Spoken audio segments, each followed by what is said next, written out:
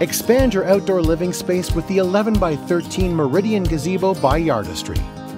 Made with 100% cedar lumber and finished with a natural cedar stain, the 11 by 13 Meridian Gazebo will bring warmth and character to any space. Thanks to our posts and heavy corner gussets, the striking design is also strong and durable. The illustrated step-by-step instructions will guide you through installation.